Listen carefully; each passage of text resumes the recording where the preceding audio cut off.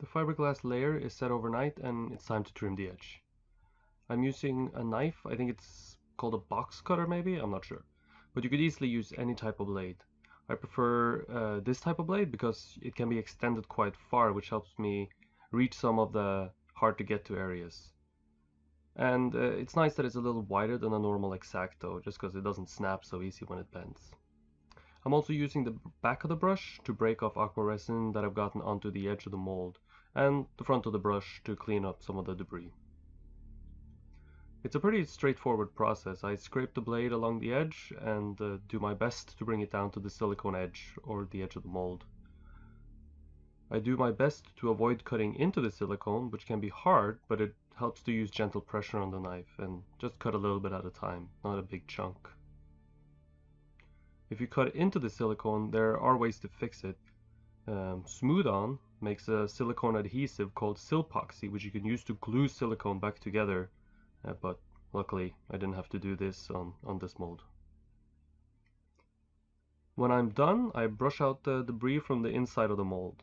When I flip the mold over to close it, this debris can land along the seam and impede a proper fit and make the seating not quite right.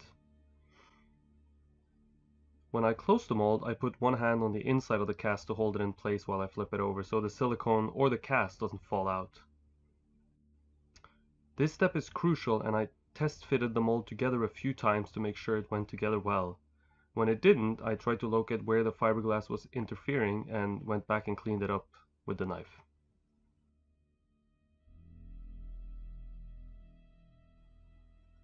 A good trick to see if your mold is properly seated is to take a flashlight and shine it down the seam from the outside of the mold while you look into the mold. If you see a light shining through, something is interfering with the seam and you can locate it and fix it. Then I strap it together with bungee cords. I tried to get them pretty tight, uh, but usually I just end up using more bungees uh, instead of worrying too much about getting it super tight.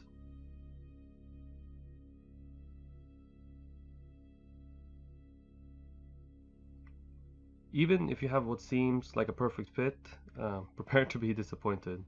No cast I've ever made has had a perfect seam line all the way around, and there always is some cleanup. And you'll see in a video or two from now that this is no different on this mold. This probably comes down to me not being the most careful mold maker in the world, I'm a little sloppy, but I've gotten very good at cleaning up seams and defects in the cast, so you know, something positive has come out of that I guess.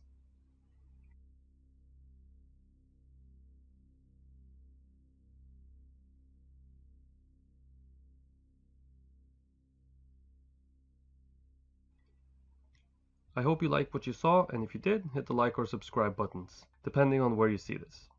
If you haven't already, check me out on YouTube or Facebook at Eirik Arnesen Art for more tutorials. Thank you for watching.